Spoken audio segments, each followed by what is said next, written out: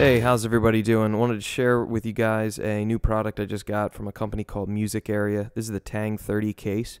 It's a soft shell gig bag in the style of a mono case, so it's uh, backpack style that you can wear, but it's extremely well padded, designed to offer the guitar maximum protection while you're out on the road, but also be comfortable as you're traveling uh, and walking to a gig.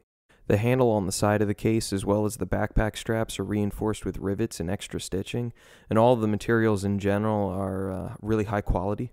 I've used a mono guitar sleeve for the last about two years as my main gigging case, and this one reminds me a lot of that. It's designed to be more lightweight and easier on your back, but has more pockets than the guitar sleeve does, and I really like that. On the front of the case in the top, there's a smaller storage area that has a spot for a cell phone, some business cards, and a couple pens, and that's pretty cool. I really like that. You could also fit like a guitar tuner and some other small things like strings up there. In the main pouch, there's an area for an iPad, which is really cool, and a dedicated spot that'll keep your guitar cable coiled up, as well as a larger netted pouch for other things that you might need, like picks. On the back of the case, there's a pouch that's really there just to hold the backpack straps if you want to just hold it by the handle, as well as some extra padding to help your back out, which is pretty freaking sweet.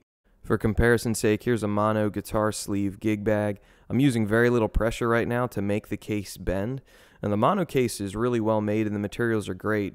And I've been using it for years and never had a guitar get damaged, but as you can see, it doesn't take much to get it to bend. I'm really using pretty much the same amount of pressure, even though it might not look like it in the video.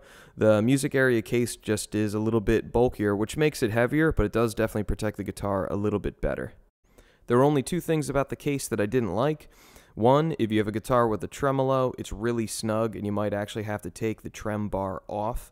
I kind of made it work, but it is really snug. The second thing is the neck suspension system isn't quite as nicely made as like a mono one is. Um, it's just velcroed into place. It's nice having the little cover that goes over top of the neck. That's totally sweet, um, but it just isn't quite as nice as a mono case. It has, the, as you can see in the bottom, the little strap pin protection area so that when you set it down, the strap pin doesn't bottom out. So it is really well made and really well thought out, and I highly recommend the case.